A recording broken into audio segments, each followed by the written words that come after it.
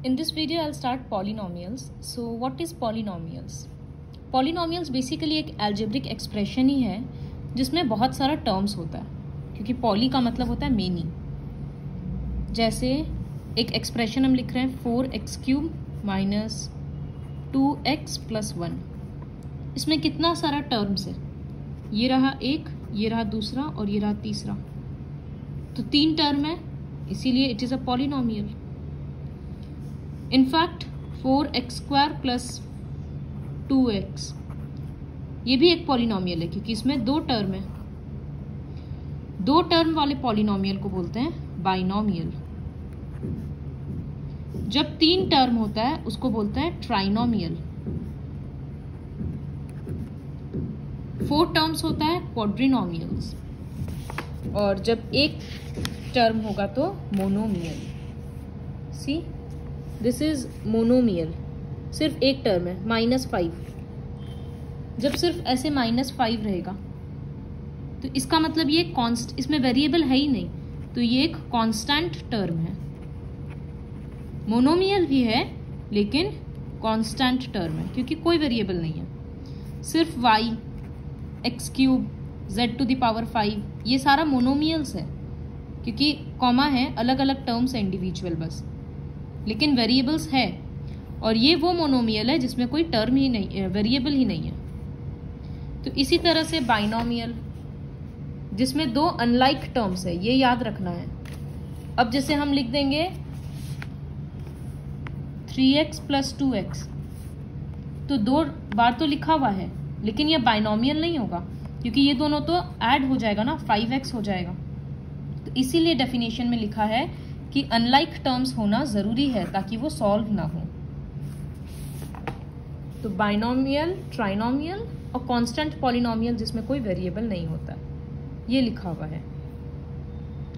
Next है what is a standard form of a polynomial जैसे हम एक पॉलिनोमियल लिख रहे हैं, z the power 5 plus z to the power 6 plus 3 plus 2z plus five z square तो standard form मतलब डिक्रीजिंग ऑर्डर ऑफ़ पावर में लिखना है। सबसे हाईएस्ट पावर किसका है? यहाँ पर है जेड का पावर सिक्स तो सबसे पहले उसको लिखेंगे। अच्छा हम यहाँ पर कुछ साइन चेंज करते हैं, ताकि तो समझने में इजी हो। उसके पास जेड का पावर क्या है? फाइव वाला। तो इसके आगे क्या साइन है? प्लस का तो हम लिखेंगे प्लस जेड फाइव फिर कौन सा है? ये वाला। तो साइन के साथ ही वो आएगा minus five z square minus को प्लस मत करना कि हम लोग जगह चेंज कर रहे हैं तो साइन बदल जाएगा, क्योंकि एल से आर में नहीं जा रहा है। तो माइनस फाइव जेड स्क्वायर फिर ये वाला जिसमें पावर वन है, उसके बाद लास्ट में होता है कॉन्स्टेंट टर्म तो डिक्रीजिंग ऑर्डर ऑफ़ पावर में अरेंज किया जाता है। डिक्रीजिंग ऑर्डर ऑफ़ पावर इसको standard form of a polynomial बोला जाता है।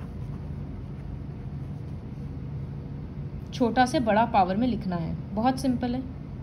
तो अभी तक हम लोग टर्म्स वाला सीखे और स्टैंडर्ड फॉर्म सीखे। नेक्स्ट एक बताना है, जैसे हम एक पॉलिनोमियल जैसे हम एक एक्सप्रेशन लिख रहे हैं। ये। ये एक एल्जेब्रिक एक्सप्रेशन तो है, लेकिन ये एक पॉलिनोमियल नहीं है। क्यों? क्योंकि y में रूट दिया हुआ है ना? इसका मतलब y का वैल्यू क्या है? पावर में हाफ़ है। रूट का मतलब तो हाफ़ होता है। तो कभी भी पॉलिनोमियल में पावर इस तरह से नहीं हो सकता। फ्रैक्शनल नंबर्स नहीं हो सकता या नेगेटिव भी नहीं हो सकता। अगर हम इस तरह से लिख रहे हैं x square plus three x to the power minus two plus five तो यहाँ पावर क्या है? नेगेटिव है। तो ये भी नहीं चलेगा। तो ये भी this is also not a polynomial इस तरह से अगर लिखा हुआ है five x plus five by x तो ये बाई एक्स है मतलब क्या है? एक्स ऊपर आएगा तो पावर में माइनस वन आएगा तो this is also not a polynomial तो एमसीक्यू में ये सब चीज़ का बहुत ध्यान रखना है। Which of the following are polynomial और नॉट तो बहुत ध्यान से देखना है, हर बड़ी में देखने से गलत हो जाएगा। तो an expression will a polynom will be a polynomial only when the powers are non negative integers term learn करना होगा। Non negative integers non negative integers मतलब सिर्फ़ positive numbers zero one two three four five six इस तरह से। Fraction भी नहीं चलेगा और माइनस वाला भी नहीं चलेगा। सिंपल लैंग्वेज में। तो बहुत सारा क्वेश्चन हम लोग सॉल्व करेंगे, जिसमें पूछेगा कि क्या ये पॉलिनोमियल है या नहीं है। Now coming to the third part degree of polynomial degree मतलब हाईएस्ट पावर एक पॉलिनोमियल का हाईएस्ट पावर क्या है? जैसे यहाँ पर हाईएस्ट पावर y का क्या है? टू तो डिग्री इज़ टू सामने का नंबर मत देखना, उसको कोएफिशिएंट बोलते हैं। जैसे यहाँ पर पावर हाईएस्ट पावर थ्री है तो डिग्री थ्री है। तो जब पॉलिनोमियल का डिग्री वन रहता है तो उसको लीनियर बोलते हैं। डिग्री टू रहता है quadratic degree three cubic degree four quadratic या बाई क्वाड्रेटिक अब एक कंफ्यूजन आएगा, तुम लोगों को बार बार जैसे मोनोमियल और लीनियर इन दोनों में क्या डिफरेंस है? मोनोमियल मतलब जहाँ सिंगल टर्म रहेगा, जैसे थ्री एक्स क्यूब एक ही टर्म है। लेकिन ये लीनियर नहीं है क्योंकि इसमें पावर थ्री है। लीनियर पॉलिनोमियल होगा सिक्स सिर्फ़ एक्स हो गया। आ, सिर्फ़ seven y minus seven y ये सारा लीनियर है। तो मियल्स हम लोग टर्म्स का काउंटिंग के हिसाब से बोलते हैं। और लीनियर क्वाड्रेटिक क्यूबिक ये सारा हम लोग डिग्री के हिसाब से बोलते हैं। वो चीज़ ध्यान में रखना है। जिससे अगर तुम्हारा क्वेश्चन आएगा write a binomial with degree ten क्या कैसे लिखेंगे? Write a polynomial write a binomial with degree ten binomial है मतलब दो टर्म होना पड़ेगा। तो हम दे दिए एक्स प्लस वाई और डिग्री टेन है मतलब हाईएस्ट एक्स प्लस वाई मत लिखो। एक्स टेन प्लस एक्स लिख दिए। तो हो गया दो टर्म और डिग्री टेन। उसी तरह से x ten plus x nine, x ten plus five, ये सारा बाइनोमियल है विथ डिग्री टेन। तो ये डिफरेंस होता है इन दोनों में। क्यूबिक मतलब जिसका डिग्री थ्री है, लेकिन ट्राइनोमियल मतलब जिसके पास तीन टर्म्स है। तो ये थियोरी पार्ट इसमें बहुत अच्छे से पढ़ना है एमसीक्यू के लिए। एक्सरसाइज स्टार्ट करेंगे। Find out whether the following given expression is a polynomial और नॉट और रीजन देना। हम रैंडमली कुछ कुछ बता देते हैं। जैसे फ़र्स्ट वाला पॉलिनोमियल है, क्योंकि पावर दोनों जगह ठीक है। ये नहीं है, क्योंकि फ्रैक्शनल पावर फ्रैक्शन में है। ये नहीं है, क्योंकि फ्रैक्शन नेगेटिव हो जाएगा। ये जब ऊपर जाएगा तो x माइनस टू हो जाएगा और ये x माइनस वन हो जाएगा।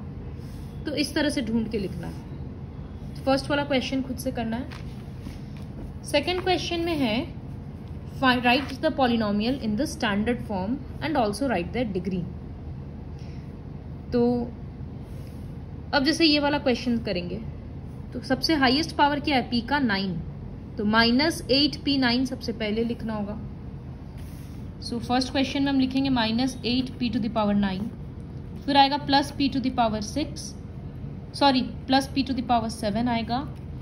फिर सिक्स प्लस फाइव ये हो गया स्टैंडर्ड फॉर्म अब पूछा है डिग्री भी लिखना है।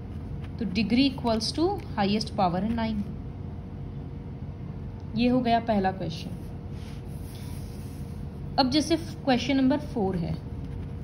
उसमें इस तरह से एक्सप्रेशन लिखा है ये तो इसको सबसे पहले सिंप्लीफाई करना होगा। अब यहाँ पर अगर एल्जिब्रा का आइडेंटिटी पहचानेंगे तो क्या है? X प्लस ए और x प्लस बी तो ये होगा x square plus a plus b x plus a b तो यहाँ क्या लिखेंगे? X फ़र्स्ट टर्म मेरा क्या है? ये है। तो इसका स्क्वायर प्लस फॉर्मूला में प्लस है, इसका मतलब ये माइनस टू बाई थ्री अंदर जाएगा। फिर प्लस दोनों टर्म मल्टीप्लाई हो रहा है तो minus two by three into four by three तो ये बन जाएगा x to the power four यहाँ एलसीएम लेंगे तो बन जाएगा टू बाई थ्री और बाहर का एक्स स्क्वायर था। और पीछे में मल्टीप्लाई करेंगे तो माइनस एट बाई नाइन ये आ गया। ये ऑलरेडी स्टैंडर्ड फॉर्म में ही है। तो ठीक है, और नहीं लिखेंगे फिर। डिग्री क्या हो जाएगा? हाईएस्ट पावर फोर है। तो इस तरह से ये सारे क्वेश्चंस को कंप्लीट करना है। पॉलिनोमियल्स के लिए बहुत ज़रूरी है कि एल्जेब्रा स्ट्रांग होना चाहिए। तो चैप्टर सिक्स रिवाइज करने का बहुत ज़रूरत है। इसी तरह से यहाँ आइडेंटिटी को पहचान कर एक्सपैंड करेंगे। उसके बाद उसको अरेंज करके लिखेंगे और डिग्री लिखेंगे। Complete worksheet one with the help of this video